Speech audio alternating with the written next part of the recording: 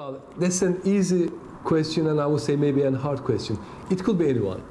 Um, any small to medium sized business can benefit from translation services. Translation means reaching to customers in overseas markets.